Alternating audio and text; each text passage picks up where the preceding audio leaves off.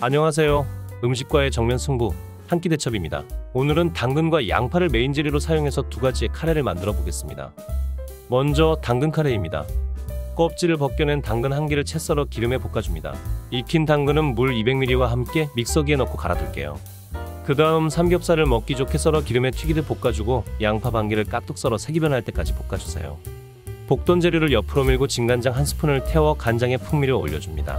그리고 토마토 페이스트 한 스푼을 넣고 볶다가 갈아 놓은 당근을 넣어주세요. 물 100ml와 카레가루 3큰술을 넣고 기호에 따라 후추로 마무리. 생당근을 그대로 넣게 되면 카레가 붉은 빛을 띠게 되는데 한번 볶아 넣게 되면 노란색 빛을 띠게 됩니다. 뭉근하게 한번 더 끓여주면 당근 카레 완성. 이번엔 엄청난 인내력을 필요로 하는 양파 카레입니다. 양파는 볶으면 볶을수록 단맛이 증가합니다. 양파 두 개를 채 썰어 카라멜라이징 하겠습니다. 양파를 약불에 서서히 2시간 정도 볶다 보면 부피는 줄어들고 갈색빛으로 변해갑니다. 부피도 확 줄어든 게 보이시죠? 이제 돼지고기 150g을 넣어 고기의 핏기가 없어질 때까지 볶다가 양파 카레와 동일하게 진간장 한 스푼을 태워줍니다.